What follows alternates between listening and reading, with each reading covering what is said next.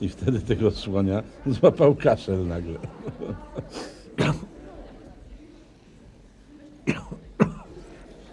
I co? No nic, to coś, coś chyba źle powiedziałem.